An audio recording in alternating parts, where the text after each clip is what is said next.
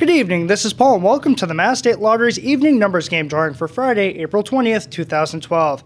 Congratulations to Roll-In Lunch in Charlestown. They sold a $1,000 a week for life prize in the $1,000 a week for life instant game.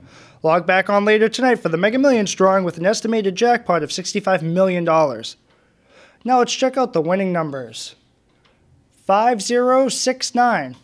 Once again, the winning evening numbers for Friday, April 20th are 5069.